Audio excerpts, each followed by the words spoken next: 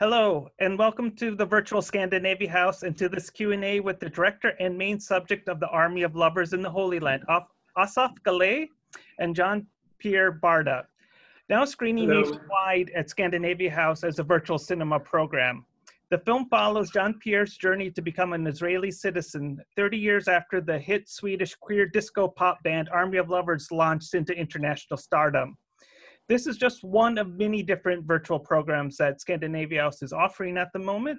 The programs include lectures, literary series, art workshops uh, for children's, exhibition walkthroughs, and many others. So please visit scandinaviahouse.org for all of our offerings.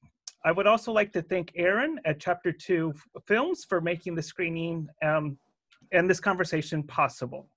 Um, for the audience, uh, please feel uh, sorry, please feel free to write in the chat box any questions you have for Mr. Galay and uh, Jean-Pierre Barda. But I will start off with a few questions for both of you just to get the conversation going. So, um, I always like to start at the beginning. Uh, how did this project come about and where did the idea uh, come from making this documentary? So, I'm a big fan of Army of Lovers. I think that I was after my uh, bar mitzvah, I, after I was 13, they became big in uh, MTV, and I heard them, and I fell in love with them. All my friends were were laughing about me. They like Kurt Cobain, they like uh, all this grunge music, and I hated. I thought that Army of Lovers are the best. I opened a big fan club for them in Tel Aviv it was me and another friend, not such a big one. And then there was this big, big accident that maybe you saw it on the film about the censorship of Israelism in Israel, and I felt very ashamed. And I wrote them letter, and I told them to come over to Israel and uh, and uh, I wanted really that they will come. They never answered me. And uh, as a good Jewish boy, as this is Rosh Hashanah, I send them every year a greeting, a, a letters. This is, was before email, and say them Happy New Year. Never heard back from them.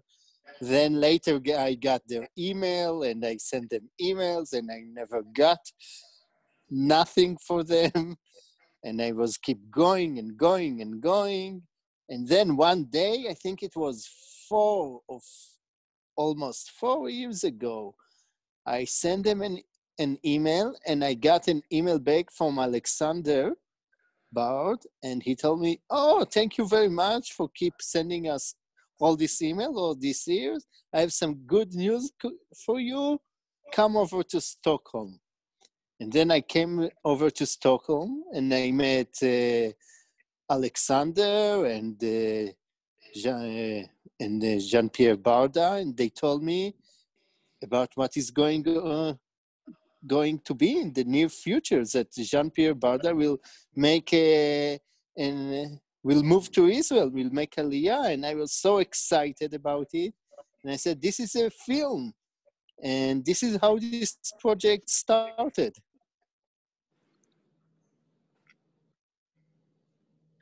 Uh, Kyle, I think that you are muted now. Okay, can everyone hear now? Yes. Yeah. Okay.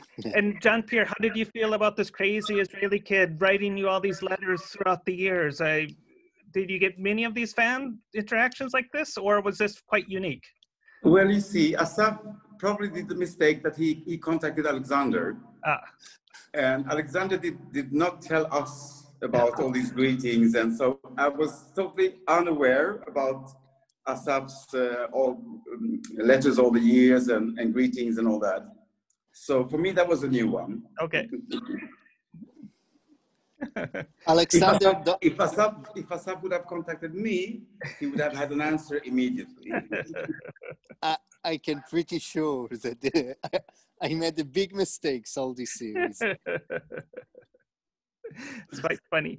Um, uh, so, uh, how long did the film actually take uh, to make? I, it took, I think, one year We okay. started from the days that uh, Jean-Pierre Barda moved to Israel, and we followed him for one year. Okay. And also, I want to say that the film is a film about a man that is looking for a new home. He had a, a Uh, he had a home that was his band for over 30 years. He left his home when he was very young, mm-hmm. and he found his new home in the band.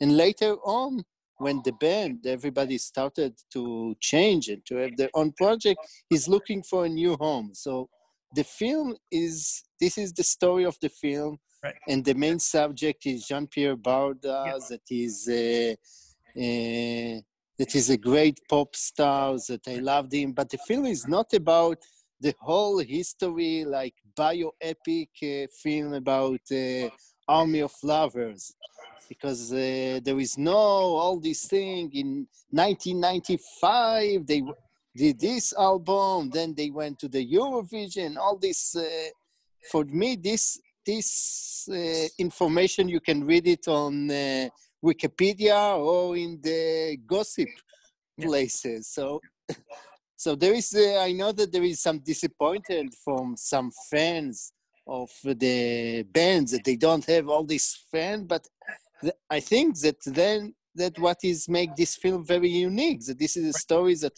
also people that don't know about the band mm-hmm. and, uh, can learn something else and also people that know about the band having new materials mm-hmm. about them about how they work why they choose this kind of music what was their motto, what was their ideology, what was how they were recording music, how their performance. This is more important in my and more valuable for me to understand the band than to know more uh, gossip and uh, facts that you can read it uh, in the Wikipedia.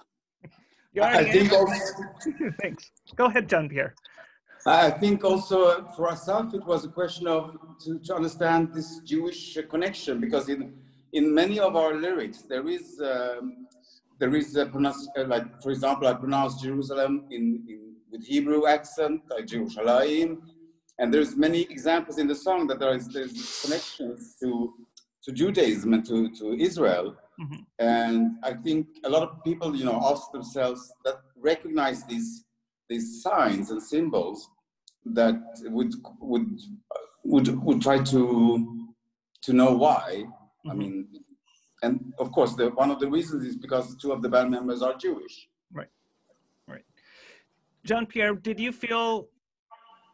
Was it very easy for you to be the subject of this film? I know you have your sort of persona, uh, your on-stage persona, but was it more difficult for you to sort of drop that persona and become Jean-Pierre Barda, the the subject of this film? For me, uh, I've, I've, the reason I came to a point in my life where I wanted some change and I want to explore a different side of myself and and also try to find some I'm, I'm very most of my life been, has been very stressful and I've been it's and it's been very hectic and I've I found myself in a place where I couldn't I couldn't do the stressful thing anymore. Mm-hmm. So letting go of, of, of a lot of things that were connected to my persona wasn't, it, it just came nat- naturally. Right. That's interesting. Um, and, and sorry, sorry, due to my ignorance of Israeli society, I was interested in that, uh, in the scene at the end. Did you have to do a, a civil service? Was that mandatory or was that a voluntary type of thing? Unfortunately, I was I was too old. The thing is that you are it's mandatory up to the age of 47. Okay. And I'm past 50. so uh, so I only I only had um, I, I only did like one day and visiting and like volunteering and, and you, there's actually no connection to the to the military work you as you see in the movie you do like for example we're packing uh, uh, we're packing for for field medicines for mm-hmm. example right and um, but I, I, the thing is, it's such a big thing in Israeli society. So I, I wish I would have liked to have the, that experience, though it's one of the toughest because it's long. It's for, for the boys it's three years and for the girls it's two years. Okay. But I would I would have I would have appreciated the experience. My actual plan was actually to do the Aliyah when I was when I was younger, but okay. things things turned out differently, and I, I I decided on on all the days that okay I will do it now, even though some people said like well it's really wrong wrong time a, a strange timing because normally you do this in your 20s mm-hmm. or when you retire not in your 50s and that's kind of that there's there's a point in it. It's it's difficult to restart from 50 right right. But i was lucky. I, my first year was a sabbatical. I went to ulpan and learned hebrew. Okay. Uh, my second year i worked as a gardener an apprentice gardener. And uh, so yeah. I can tell you that the scene the people that did, did, didn't watch it yet that the scene that happening in uh, the end scene in this in the army when uh, Jean Pierre is volunteering is one of the best scene ever in documentaries film in Israel. People are still remember it.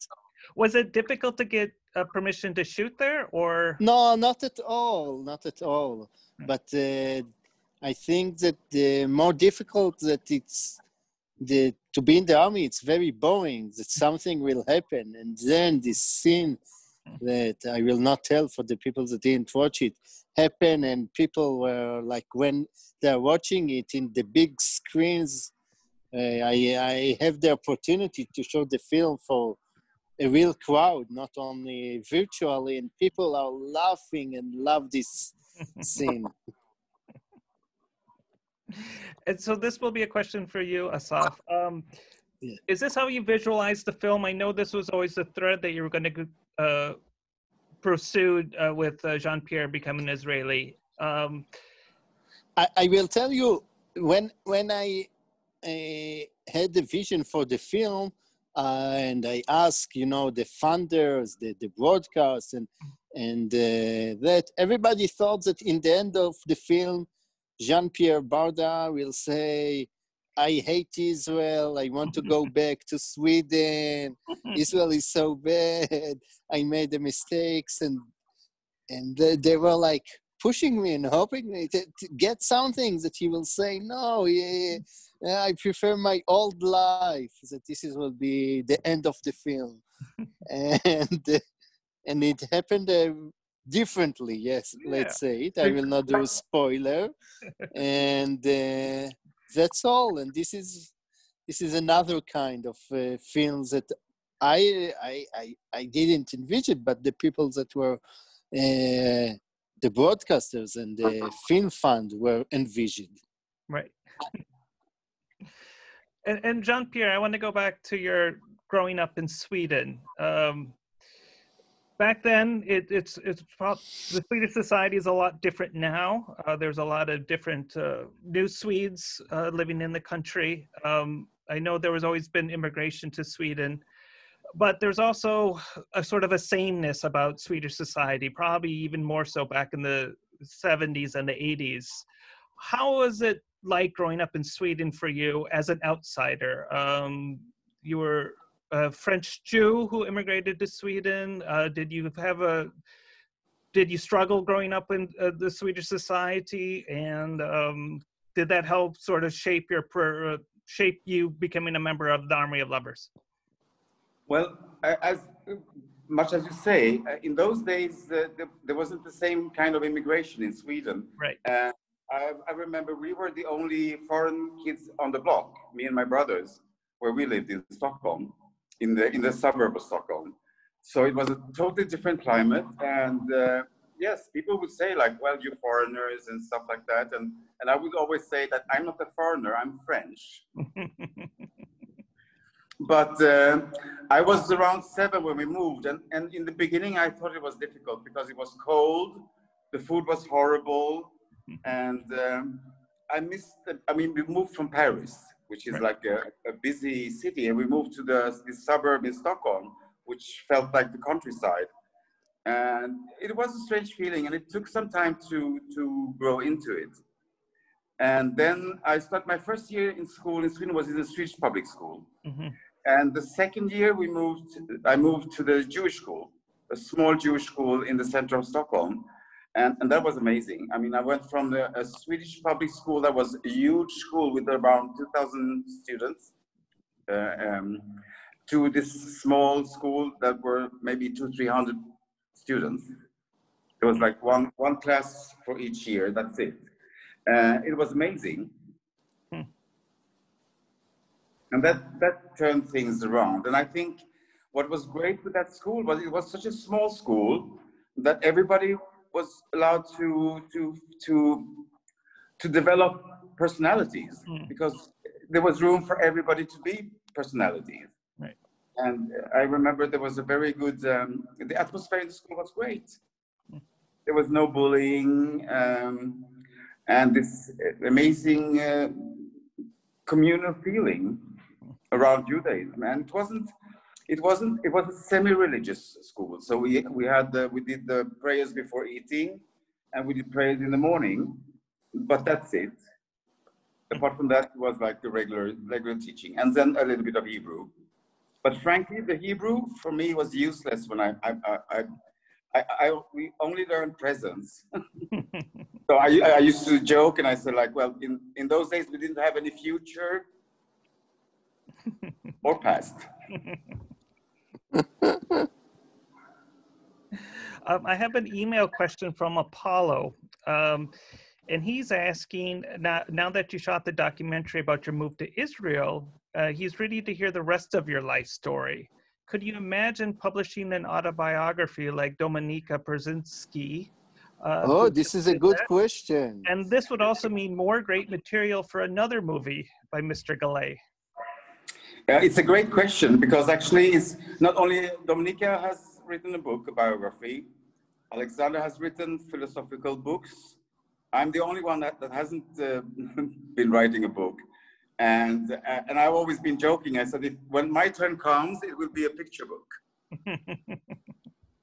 no, uh, joke aside, I think the idea of, of writing a biography is, I've been thinking about it, but there's so much stuff.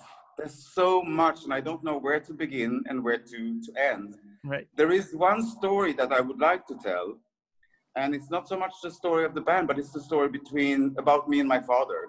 Okay and the, the reasons why I left home and to, to highlight the problems when you move from one culture to another culture and you bring the old culture with you and you, you grow up parallel with those two cultures and the problems that, that, that comes up within the family, which was what happened to us. I think if we had, we, if we had stayed in France, we, I would never have left home the way I did in Sweden, but moving to Sweden became too much of a culture shock mm. for my, my, my, my, father. And he used to say, for example, like Sweden in the 70s was very liberal. And there was this uh, free education that they called. It was a, um, a more relaxed way of teaching. Mm-hmm. And my father used to say, it's not free education, it's free from education. so I, and I, I would like to I, I think if i will write something it would be more about the story about me and my father and i also in a way he, he passed this fall mm. and in a way i feel because i've i've i've, I've only came out twice in, in, with two at two occasions about the split up in our family and one is the documentary and one was an, an article but I was very reluctant doing it because I felt that in all honesty, it would, my father should be part of that, of the, of the, I was the only one that came to, to, to tell.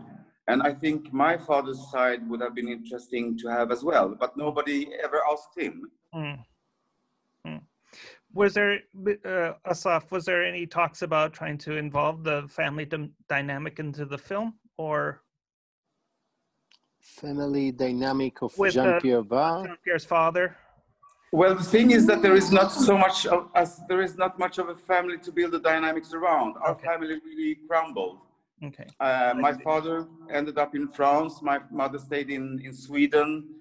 And uh, the, I think the breakup with me and the family caused the breakup of the, the fall of the rest of the family after, mm. unfortunately. And mm. in later years, I mean, in the end, I had the, I had the amazing, the amazing, amazing um, gift to get the closure with my father. Okay, good. Which was which was fantastic. I wasn't expecting it, and it came very late. Um, it was like hardly a month before he passed. Hmm. Hmm.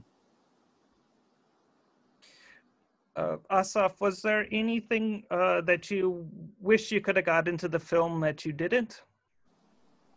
Uh, there was a, later on when I discovered that uh, Kurt Cobain was a big fan mm. of Army of Lovers. Really? And I contact and I uh, first I contact the documentary filmmaker Brett Morgen that did a great film about Kurt Cobain, and he told me there is like great home movies of uh, Kurt Cobain and his band, and especially Kurt Cobain singing "Crucified" and stuff like and uh, dancing. So I wish that I could get it, uh, these great home movies, or to at least to uh, to interview his uh, widow. Uh, I forgot his her name. Courtney oh. Love. Courtney Love, yeah. and she will tell it. So this is the only thing that I feel that I missed. Could have been but it could be in the Army of Lovers in part the two. Holy Land number two, part two. That will be more about Dominika. Yeah. well, apparently Kurt Cobain wrote in his diary about Crucified and and, and the band. Yeah. Oh, nice. Yes. Which is in a documentary. There was a documentary series here in Sweden about uh, hits, hits hit songs. Mm. And one, one of the shows was about Crucified. And they managed to find these pages from, the, from Kurt Cobain's diary. Mm. So it's, it's but I wanted the home movies that he's dancing and singing. I would love uh, to see that too. Wow. Yeah. well, maybe if oh, we can all start a petition to get those released. Yes. uh, is there any questions from the audience? Uh, just please write it in the chat function if there are. Um, I'm also curious about, I, I, said I wouldn't talk too much about the Army of Lovers, but I'm sort of curious about uh, your musical idols um, and who did you try to emulate growing up and who do you want to emulate now as, as musicians? Oh, wow. Well, at the moment, this year is the, the 30 years anniversary of Crucified. Mm-hmm. And um, I think we've, we've been on and on through the years. And we haven't written any new materials for a long time, but I think we're, we're, we've said that after the corona, we'll see how, how things are. Mm. For the moment, we're just, we're just, um, we're just, um, we're in limbo, kind of. Right. Um, and my influences when it comes to music, I've always, you know, I, I was listening to, I grew up with my mother's French singers and my father's Arabic music. And I think that influenced me a lot. And then, of course, when the when dance music, the disco era was, I was a kid, but I, I only wanted to be to be grown up and to be able to go to clubs and and everything. I remember being a kid and reading about Studio 54 and things like that. I was like, wow, amazed. and what about you? Besides Army of Lovers, Asaf, who were some of your sort of musical heroes? Uh, so I grew up in a very classic music uh, family. My father is a composer, my sister is a cellist, so I was more hearing Bach and Beethoven so it was a really good short shortcut to Army of Lovers, from Mozart, Bach to Army of Lovers. Classics. Very short bridge. and uh, what is? Oh, and ABBA, ABBA, of oh, course. Of course, of course. Uh, For me, I mean, yeah. I, I, grew, I grew up with ABBA, and as as Asaf said, for him, that people said like if you liked Army Lovers, that was kind of weird. Mm-hmm. In Sweden, if you liked ABBA, yeah. you were not you were not the cool kid. No, exactly. Everybody was into uh, sweet and and rock bands and glam rock and stuff like that. Yeah, yeah and I was totally, I was totally into ABBA, and I'm still, I still am. I think, I still, I still think they're brilliant. Yeah, yeah. And as artists, I mean, we've all been on lockdown for over a half a year now. Um, are you finding this time alone and sort of isolated productive to your artistic careers, or do you find it more of a hindrance where you can't have the interaction with people as much as you could uh, before? It doesn't. No, in that in that sense, it, it doesn't uh, make any difference. At least not for me. I think for for me, on the on the contrary, I'm used. To, I I spend a lot of time by myself. Okay. I like being my, by myself, and in those moments, I mean, th- those are the moments when when when everything from from daily life or experiences that comes up to the surface so you live and then you, you go aside and things mature and, and pop up and something comes out of, out of it. Mm, mm. And what about you, Asaf? Uh, it's very hard, you know, to do this uh, for an artist to do this virtual screening. Mm-hmm. Uh, I, know. I, I miss the audience. I miss to see, to hear them laughing, yep. to see their faces. Yep. It's very strange. And uh, yep you cannot shoot a new film, documentary film, because it's uh, who wants it? A crew member, uh, somebody, a foreigner, will come over to his house. So it's very strange and uh, I, very strange I think, I think for for us as a band, it's it's not only negative. I think there's a lot of possibilities right. to explore new ways of meeting the audience, maybe not directly live, but in, in like with with um, like like we're now interactive by by video, and there's a lot of lots of other ways also. I think so. There is opportunities always. I have one question uh, from the audience, and they're asking, did Camilla see the film? I don't know. I don't think so because the film is not uh, still is, is still running only on on closed um, right groups. So I don't think she's seen it. No. Okay. And uh, where has the film been screened? I know it was at a, a film festival wow. in Israel, but has it been able to make? I think it was in Atlanta, yet? Philadelphia, San Francisco. Okay. It was in uh, in many places all, already. It's first time that it's in New York, and we are very happy to be in the Big Apple virtually, and to be in the Scandinavian house. And uh, you can keep uh, looking in the Facebook website for the next film uh, screening. I think it will be in uh, Atlanta, then it will be in Toronto, Vancouver. Nice. Many, many screenings are coming up. And has it been in Scandinavia and Sweden? Not yet. Uh, not yet. Not yet. Um, and another question just came in. Will it be uh, on DVD or Blu-ray? Uh, who has DVD? I know. Will it be on a, a sort of like a, a, more VOD platform? Is I guess the question is now. Now that we're... it will be more in uh, VOD and streaming. Uh, we don't know. There is so many streaming offers for this film from, uh, but it will be in one of the streaming uh, uh, channels that are coming up like mushrooms in the last uh, five yeah. months. yeah, I mean, I um, on one way I like it because it can give a film a lot more opportunities than just being selected at certain film festivals.